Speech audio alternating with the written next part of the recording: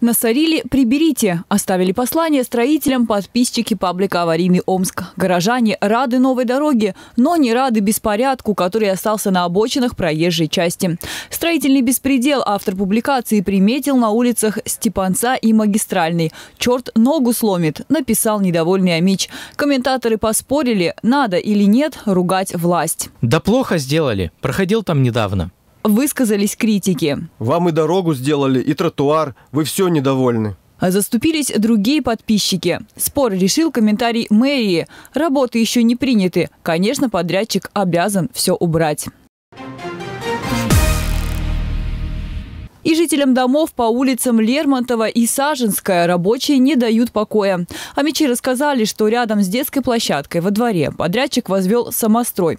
Площадку и строение разделяет тоненький забор, за которым паркуют крупногабаритную технику, ремонтируют ее и моют. Машины дымят круглосуточно, выхлопы на детскую площадку и в окна квартир. Рабочие курят и не стесняются разговаривать матом.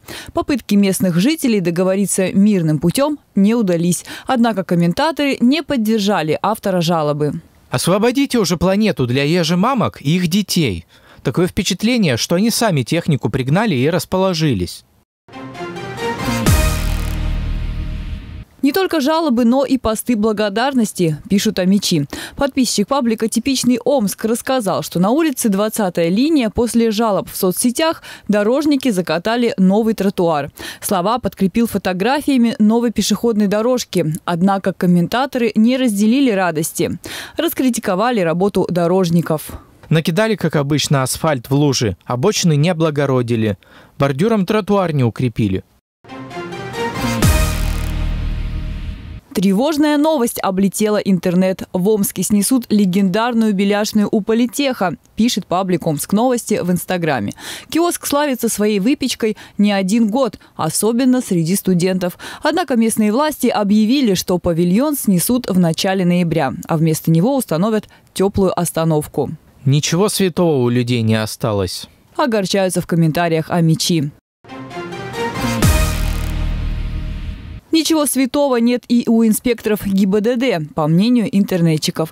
Правоохранители остановили для проверки омский паровозик-аттракцион. Фотографиями о мечи поделились в Инстаграме. Под постом подписчики добавили, что погоня была с левого берега.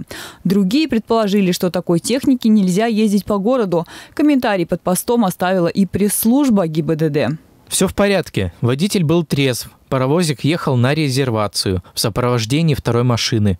Безопасность была обеспечена. Продолжаем разбирать посты о мечей.